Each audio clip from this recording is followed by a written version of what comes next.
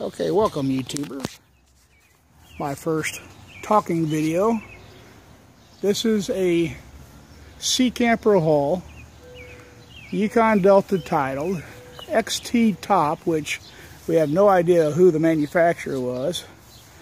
Back up a little bit more. It's 25 foot long, 8 feet wide.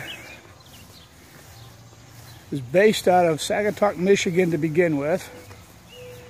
It comes complete with a dirt-based motor. Lots of hull work. There's the whole side of it looking from the back. It's got a small cabin in the front.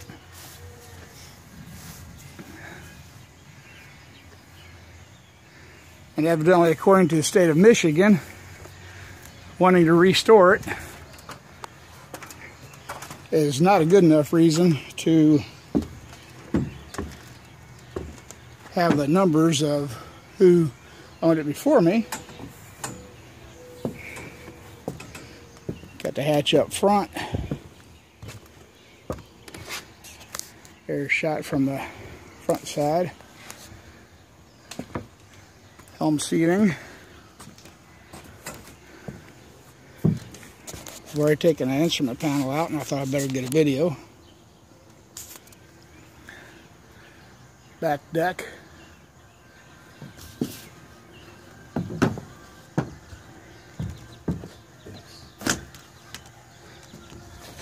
Back to the engine area. Two square holes that we have no idea what they're for. Four open holes. It has two 18 gallon gas tanks, a rotted transom, with all the dirt on the floor. I'm sure it's got uh, three stringers that are rotted as well. So the top will be separated from the bottom. But overall, it's a cool boat. Here's the inside of the cabin area. Rotted wood, dirt, that kind of thing plenty of mud dauber's nest. Anyway, if anybody has any idea of what this thing is, if anybody's seen one similar to this, I would appreciate some info. Once again, Sea Camper Hull,